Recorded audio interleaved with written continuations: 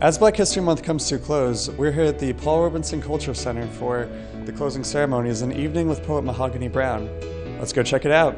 This heart found a home in Brooklyn, in airports, in a little girl's eyes, in the halo of gentrification.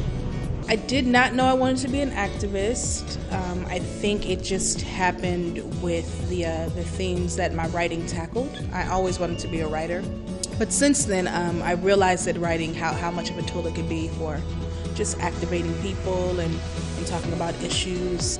Our students are really concerned with the connections between arts and activism. And here at the Paul Robeson Cultural Center, we, we have a framework that we operate through. Um, and thinking about Robeson's leg legacy as an artist and an activist um, and a civil rights champion, a human rights champion, we're constantly thinking about how the arts um, reflect the times. And so from time to time, we bring in artists to showcase their work and allow our students the opportunity to engage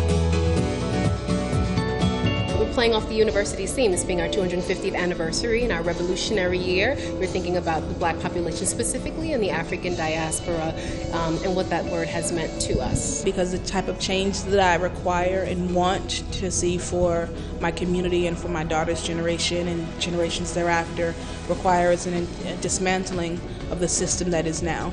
So, am I a revolutionary because of that? I might be.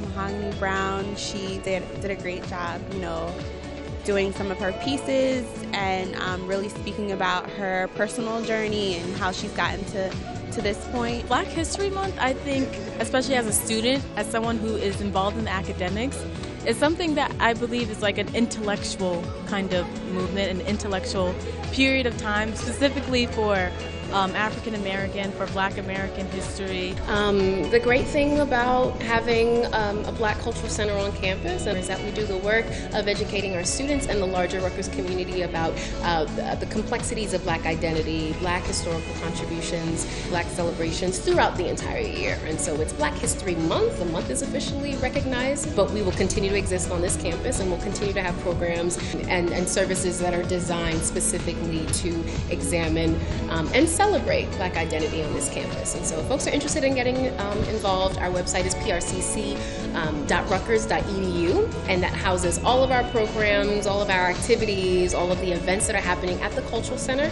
and the outreach that we do from the Cultural Center out to the larger community.